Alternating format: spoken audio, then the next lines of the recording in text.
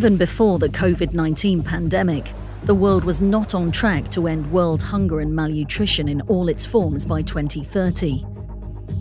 Under the shadow of the COVID 19 pandemic, up to 161 million more people were facing hunger in 2020 than in 2019. New figures estimate that between 720 and 811 million people around the world faced hunger in 2020. The prevalence of undernourishment increased this past year to reach a level of 9.9%. Around 660 million people may still face hunger in 2030, in part due to lasting effects of the COVID 19 pandemic on global food security. This represents 30 million more people than in a scenario in which the pandemic had not occurred. More than half the world's undernourished are found in Asia. An additional one third reside in Africa. Globally, 2.37 billion people did not have access to adequate food in 2020, an increase of nearly 320 million people in one year. Globally, malnutrition in all its forms also remains a challenge. In 2020, 149.2 million children under age 5, or 22%, were affected by stunting and 6.7% suffered from wasting.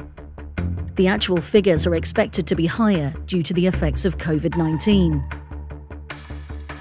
38.9 million children of children under 5 or 5.7%, are overweight. In 2019, the high cost of healthy diets combined with income inequality caused healthy diets to be too expensive for around 3 billion people, a number expected to increase for 2020.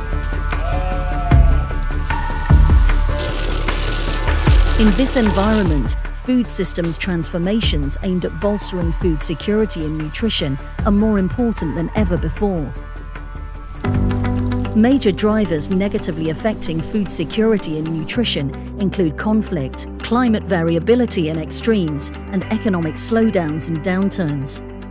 When food systems transformations focus on fostering greater resilience to these drivers, food systems can better provide affordable and healthy diets that are sustainable and inclusive.